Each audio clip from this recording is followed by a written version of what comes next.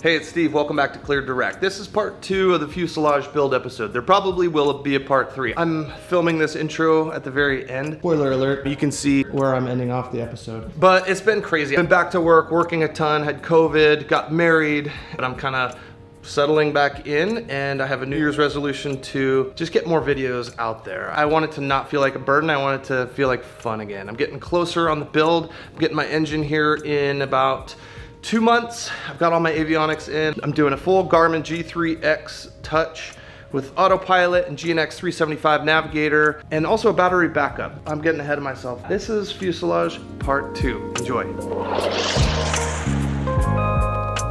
I do not like the fact that there are ferrous nut plates in this magnetometer mount. Drilling out the rivets, replace those nut plates with just some stainless steel hardware.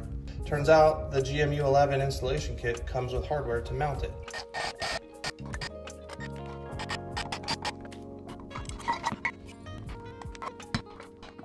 The thing that I'm just thinking about now is how come a lot of people are mounting the trim wire through the bulkhead. They're drilling extra holes through the bulkhead as well as the magnetometer uh, harness through the bulkhead. And I'm guessing it's to keep it up off the floor. But I'm got some mold right here that should work perfectly. Oh, we disconnected the tail cone from the cage, obviously. Flipped it over because these tail wheel steering cable exit fairings, we need to test fit those. Don't do that with one hand. There you go. Fits just fine at uh, 3 16ths. You drill the holes as marked on these and see what I mean? So at least they're consistently off. I'll just JB weld or epoxy a washer in there. It'll be fine. Okay, I mixed up a little JB weld to get the washer in there.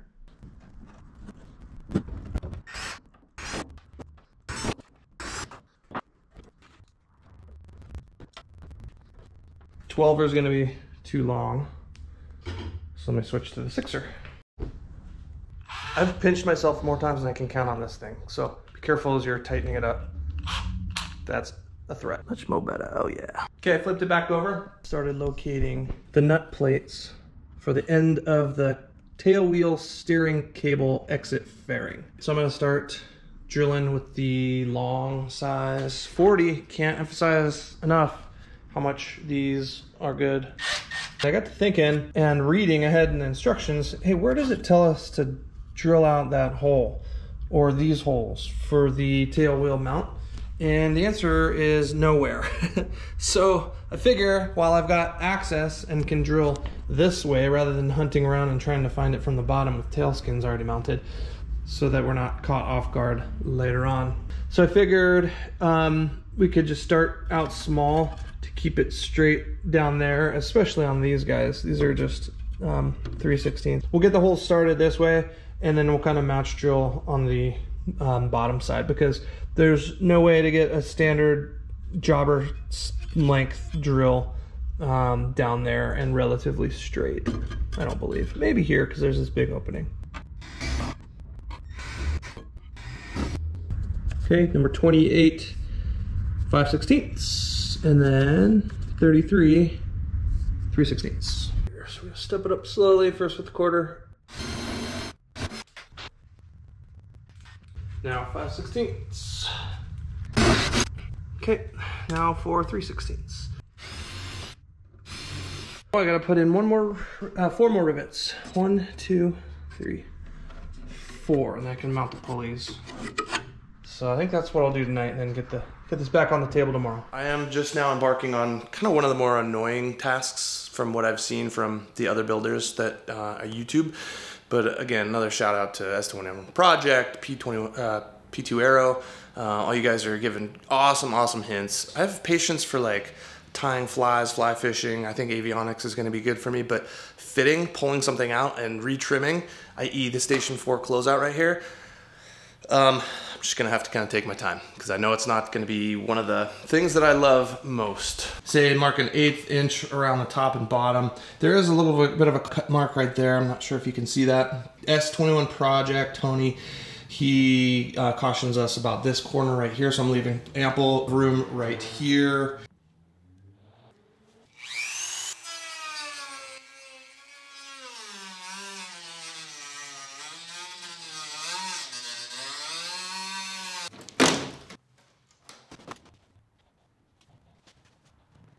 All right, after about mm, six, I'd say, trial fits, we got it looking pretty good. Now trace that so that it slides inside the skins.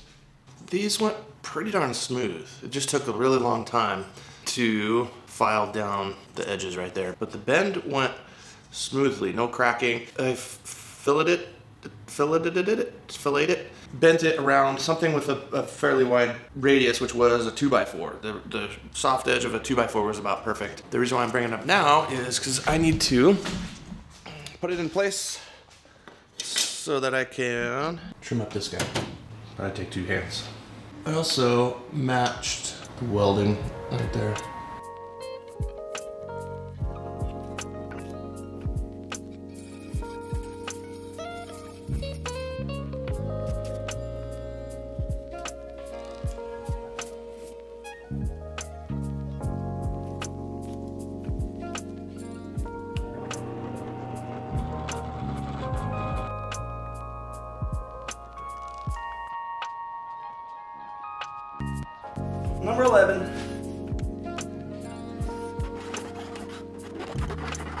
Man, that was tedious AF, but I am done after 69 installs and removals. Looks pretty good. Not perfect, but uh...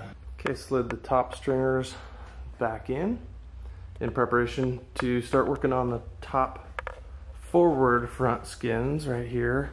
There's the window cutout got them weighted down because I got to put a curve with the edge forming tool. Make double damn sure you're doing it the correct direction. Funny story, on one of the wing skins, I did it the wrong way. Luckily that was the first um, bottom, I think it was the left bottom wing skin I did. so that suddenly became the right bottom wing skin. But I always have to do it about two or three times. And it's almost imperceptible, the, the curve you're putting it. So you do this on the wing, top and bottom skin. You also do it on the top skin of tail cone where it overlaps the longeron right there. As well as you might be able to see a little bit better on this. Once it rivets, it'll have a nice little bit of pressure pushing down on the other side. So this is the right window. Kind of see the uh, edge form, what that does right there. Before I get too much further, I gotta get the windows in. Ace Hardware had a size 27. Not even Home Depot or Lowe's have numbered sets, so that was awesome. You know, most everything in here is size 30 on this airplane. So 27 is slightly larger. It's uh, 1440 of an inch. Size 30 is 0.1285. So you're you do that because this is a Lexan, a soft material, so when you pull the rivet, it's gonna, a size 30 rivet, it's gonna expand um, and I guess you don't want to warp the, the window.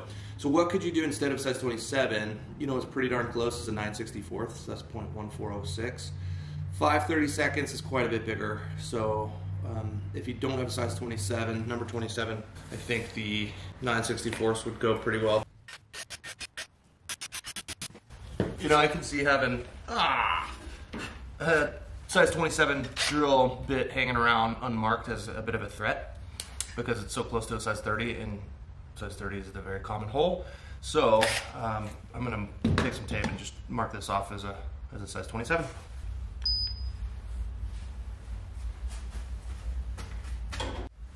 Zeros.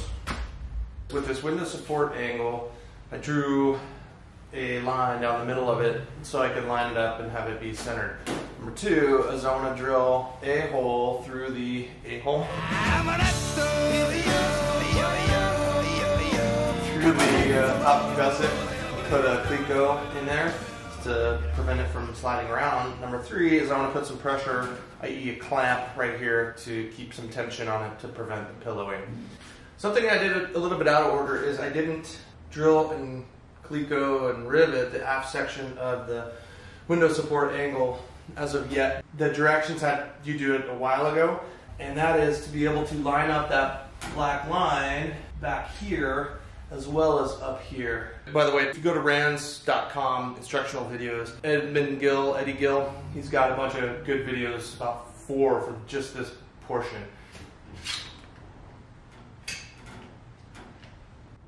Okay, something else I should probably point out is I still have clecos from the middle gusset into the longeron, which will interfere towards the end um, of drilling down here. But that's not relevant right now because we're just doing the window support angle up here. So you don't, I don't think you want to remove these right now because that's kind of keeping the structure all together and aligned, right? So, um, and if they were pointing out this direction, there'd be too much interference. All right, let's get to drilling these out, match drilling. It's a little bit oblong. So that's either an indication of a dull bit or something else going on. So I'm gonna switch to a size 40 for the rest and then come back and upsize it and switch to new bits.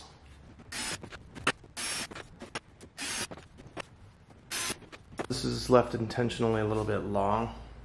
So we've got to shear that off. Old hole drilled with 30, new hole drilled with 40, and then final sized. Old hole, oblong. New hole, Nice. Good hole.